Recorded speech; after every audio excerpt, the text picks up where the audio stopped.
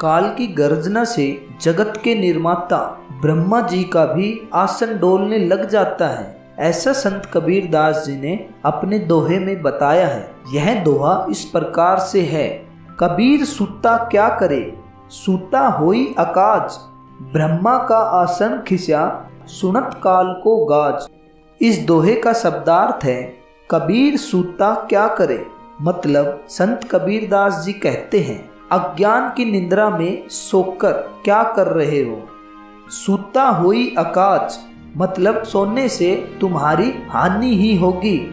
ब्रह्मा का आसन खिसा मतलब जगत के निर्माता ब्रह्मा जी का आसन भी खिसकने लगा।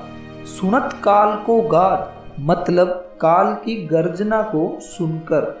इस दोहे का भावार्थ है, संत कबीरदास जी कहते हैं माया के भ्रम के कारण जीवात्मा अज्ञानता की निंद्रा में पड़ी रहती है।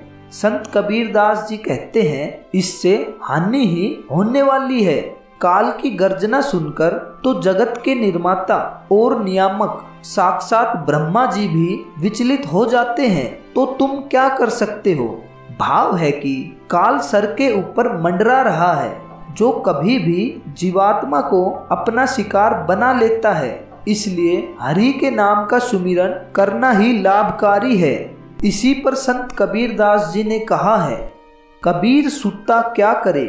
सुता होई अकाज, ब्रह्मा का आसन खिस्या, सुनत काल को गाज।